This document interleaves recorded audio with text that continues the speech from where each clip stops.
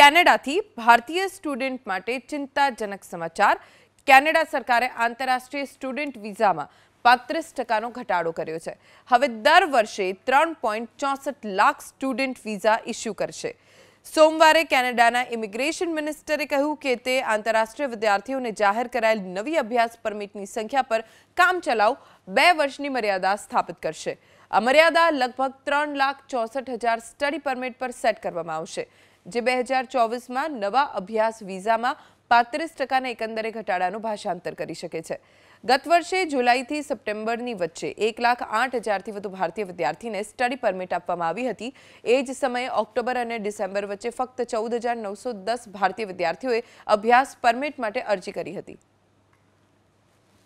એ છે કે government of Canada હવે દર વર્ષે ત્રણ લાખ પાસઠ હજાર સ્ટુડન્ટ વિઝા ઇસ્યુ કરશે આખા વર્લ્ડમાંથી જે લાસ્ટ યર કરતાં પાંત્રીસ ટકા જેટલા ઓછા છે. સો ટ્વેન્ટી ફોર અને ટ્વેન્ટી ફાઇવમાં ત્રણ લાખ પાસઠ હજાર સ્ટુડન્ટ વિઝા ઇસ્યુ કરશે, એનાથી વધારે નહીં કરે.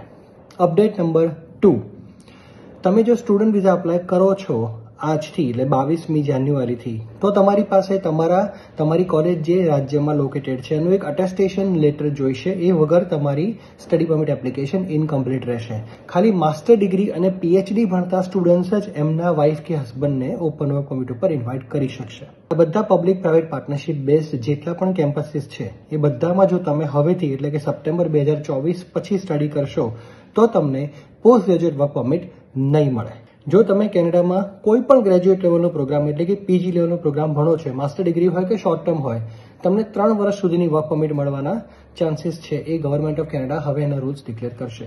તો આ પાંચ મેજર અપડેટ હતી. તમે જો સ્ટડી કરી રહ્યા હો, તો આ પાંચે પાંચ મુદ્દાનું ધ્યાન રાખજો અને એ પ્રમાણે તમારું પ્લાનિંગ કરજો.